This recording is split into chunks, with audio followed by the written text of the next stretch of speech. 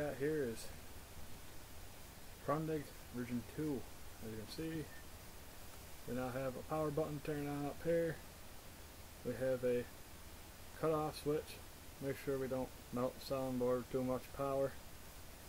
Different kind of recharge port, easier to get to. A little bit of venting, so you can get some audio out of it. Outside of that, rip is still the same, no changes there, no changes up here. It's all just as long as it used to be. Couple little flashes. Audio. Thing sounds.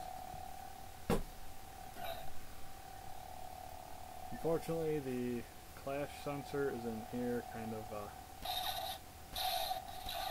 works great for the hand, not much for anything up here when nothing happens.